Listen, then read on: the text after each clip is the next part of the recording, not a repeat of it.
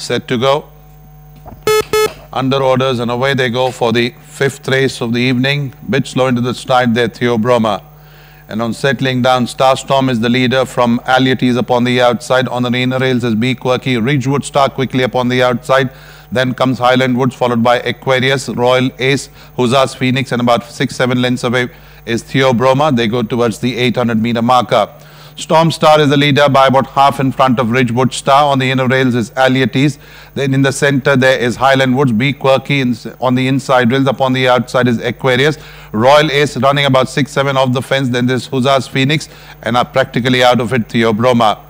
They negotiate the curve and top of the home. They enter Ridgewood Star is the leader by about two and a half to three from uh, Highland Woods in second place. Then there is Be Quirky followed by Alyaties. Then comes Aquarius followed by Royal Ace. Going inside the last 300 meters there, Ridgewood Star still ahead by about two and a half there in front of Highland Woods. Alyaties standing upon the outside in third place. Then there's Be Quirky followed by Aquarius. Going inside the last 200 meters there, it's Alyaties. Where's down the early leader? Alyaties in the last 100 meters, goes on to pull the race off from uh, Ridgewood Star, Aquarius. Then there's Highland Woods, followed by Huzzah's Phoenix, Royal Ace, Be Quirky, Theobroma, and the last one to finish home is Som Star.